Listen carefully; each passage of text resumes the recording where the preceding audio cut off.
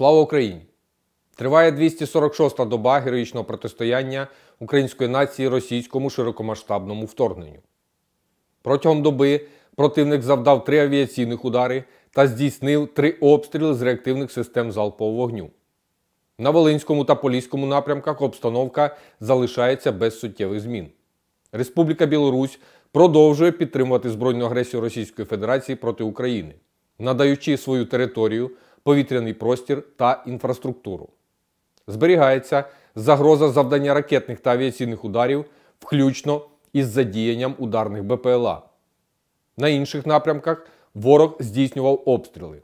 На Слобожанському напрямку з території Російської Федерації із використанням артилерії різних типів в районах населених пунктів Чугунівка, Стрілеча, Дворічна, Кам'янка, Красне та Стариця.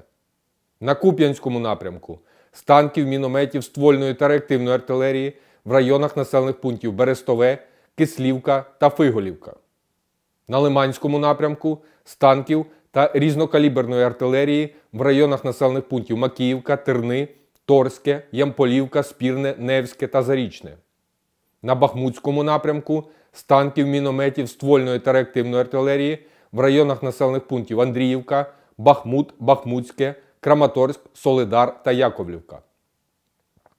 На Авдіївському напрямку противник завдавав вогневого ураження з мінометів, ствольної та реактивної артилерії в районах Авдіївки, Красногорівки, Мар'їнки, Новомихайлівки та Первомайського. На Новопавлівському та Запорізькому напрямках противник здійснив артилерійські обстріли у районах Білогір'я, Времівки, Залізничного, Новополя, Новосілки, Ольгівського та Оріхова.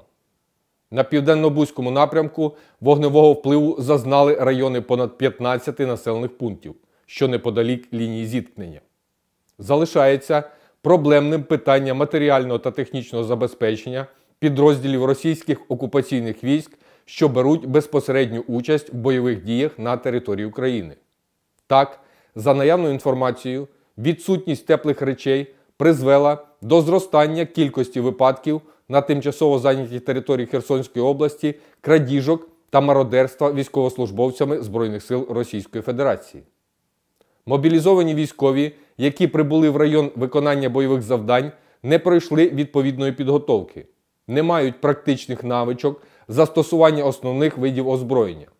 Це призводить до значних втрат противника у живій силі.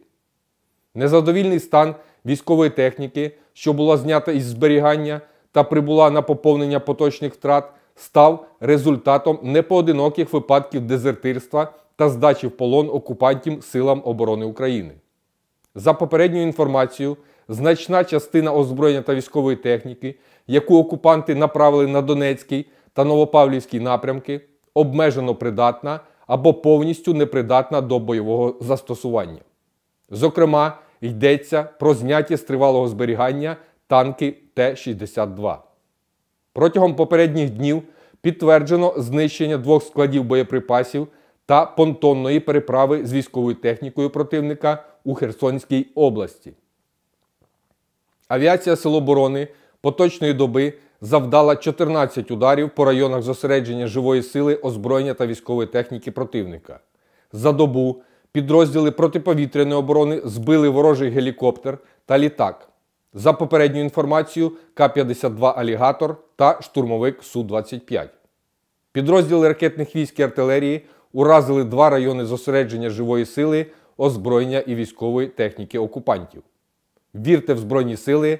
Разом переможемо! Слава Україні!